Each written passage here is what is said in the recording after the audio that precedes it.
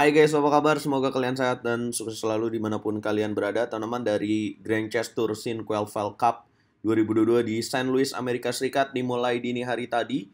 Dan satu-satunya partai yang berakhir dengan uh, kemenangan dan kekalahan adalah partai dari juara dunia catur Magnus Carlsen melawan Ian Nepomniachtchi.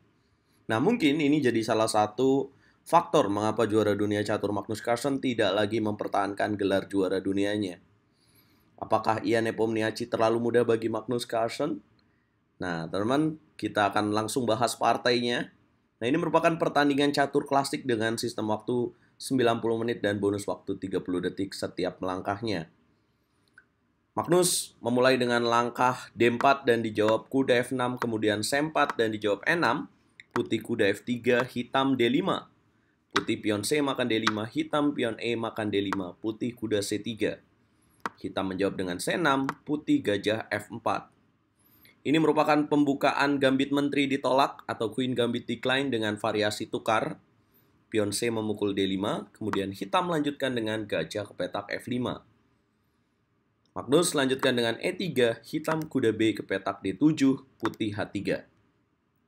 Hitam gajah ke petak E7. Nah, di langkah berikutnya, ini menarik banget karena Magnus menjalankan langkah G2 G4 ya kalau kita lihat secara posisi mungkin uh, perwiranya belum berkembang semua ya.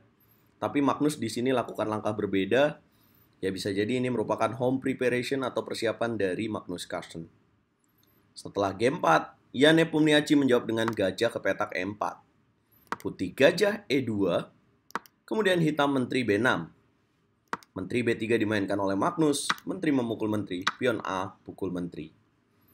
Kalau dilihat dari secara struktur pion mungkin merugikan ya teman-teman karena putih memiliki pion tumpuk. Tapi dari posisi ini Magnus juga memiliki keuntungan karena terbukanya jalur A. So bentengnya jadi aktif guys.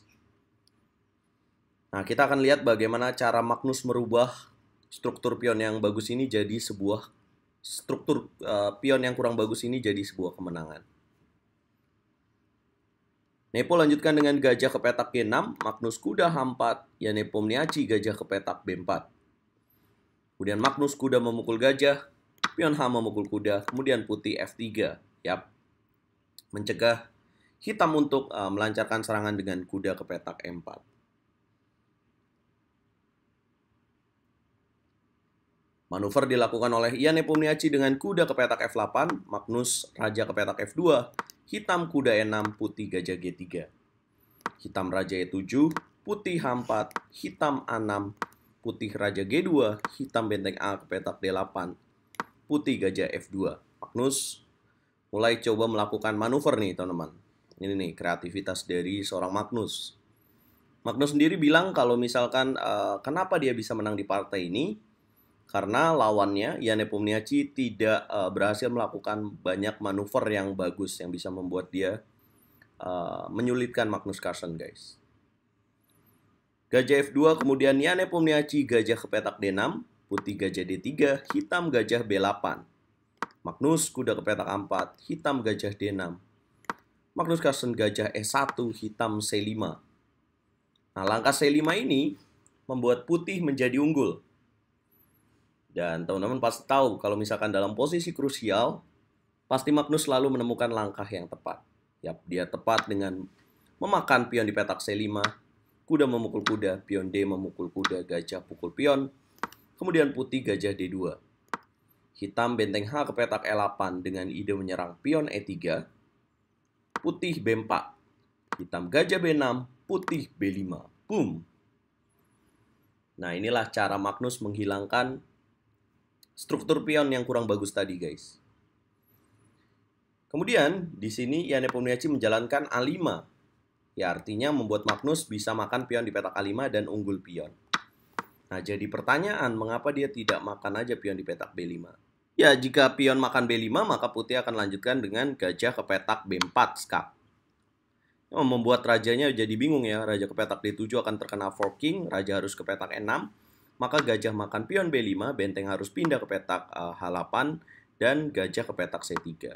Nah ini yang uh, menyulitkan karena posisi raja hitam juga di tengah. Kalau misalkan dia makan pion E3, maka benteng H ke petak E1. Apabila D4, benteng A ke petak D1. Sangat-sangat rumit ya, teman-teman. Tapi uh, pastinya ya Nepomniachtchi tahu hal ini membuat dia tidak nyaman, guys, dan kurang bagus lah. Itulah kenapa dia memilih A5. Dan membuat Magnus bisa mengambil pion A5, ya gajah memukul gajah karena kalau makan pion E3 benteng hilang ya di petak D8. Benteng makan A5, hitam raja D6. Putih raja F2, hitam benteng E7. Kita bisa lihat evolution barnya langkah ke-31, Magnus keunggulannya cukup besar. Kemudian benteng D1, hitam benteng H8, putih G5. Hitam kuda D7, putih menjaga pion H4 dengan benteng A4. Hitam kuda C5, putih benteng G4. Hitam raja C7, blunder dilakukan oleh Ian Nepomniachtchi karena meninggalkan penjagaan pion D5, so putih langsung gajah B1. Hitam benteng E5, putih gajah A2. Lihat perpindahan gajah dari Magnus Carlsen. Yang tadinya gajah kurang bagus sekarang jadi mengancam pion D5 guys. Hitam F6, pion G memukul F6, pion G memukul F6. Benteng makan pion D5, dua, dua pion unggul Magnus Carlsen. Kemudian benteng memukul benteng, gajah memukul benteng, kuda D3 skak, raja G3, kuda ke petak E5. Benteng F4, kemudian hitam benteng D8, Magnus menutup kemenangan dengan langkah B6. Boom. Bagus banget ini karena dengan langkah B6 ini menghilangkan pion tumpuk untuk ditukar dengan pion F6. Jadi kalau misalkan dimakan, Magnus sudah unggul dengan dua pion bersih. Yang pastinya ya ini akan membuat Magnus unggul ya teman-teman dengan, dengan seperti ini. Misalkan dia raja 7, di sini bisa M4. Kuat banget gajahnya. Nah, gimana kalau misalkan raja ke petak C8? apa yang akan dilakukan putih ya gajah 6 dan dapat pion F6. Kalau misalkan raja B8, nah ini nih. Jadi bagus banget benteng makan pion F6. Kalau dimakan, maka akan tercipta, uh, tercipta backring checkmate. Nah, teman-teman, inilah yang terjadi di Sunquil Cup 2022 di babak pertama. Kalian bisa saksikan pertandingan ini jam uh, 1 dini hari di uh, Grand Chess Tour, YouTube Grand Chess Tour, atau kalian punya uh, aplikasi namanya Follow Chess kalau Android atau iPhone pun bisa menonton di sana guys. Karena saya sedang bertanding, jadi belum bisa live streaming lagi guys. Oke, gimana menurut kalian? Apakah ini jadi salah satu faktor yang membuat Magnus tidak mau melawan Ihan Nepomniachtchi dalam perebutan gelar juara dunianya? Dan apakah semua akan Magnus pada waktunya? Kita ngobrol di kolom komentar. Jangan lupa like, share, komen, dan subscribe. Catur Indonesia. Jaya Bosku.